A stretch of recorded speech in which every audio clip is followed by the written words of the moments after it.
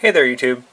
Today I just wanted to make a quick video showing you how to fix a frustrating issue I've had with uh, Google Voice.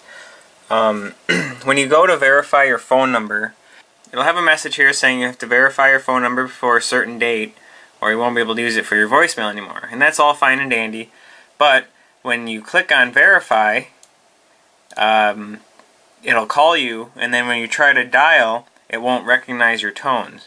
So you'll dial the two digits and it'll be like, sorry, and then you'll dial it again, and it'll be like, nope, and then eventually it hangs up on you. And uh, I was really frustrated. I tried a couple different things. I tried putting my phone in 3G thinking it was the 4G voice corrupting the dial tones, and it wasn't. It was just a, a glitch, uh, possibly in Verizon's system, and I've seen other people in forums who had this issue as well.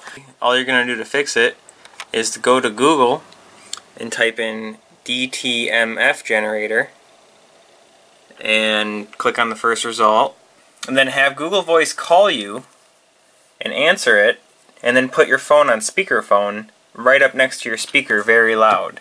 And then you just enter whatever code they gave you, like mine was 25, so I just held the phone up to the speaker and went 2, 5, and it verified the phone number even though on my phone I couldn't just type 2, 5 because it, it wouldn't work. So I hope this helps someone.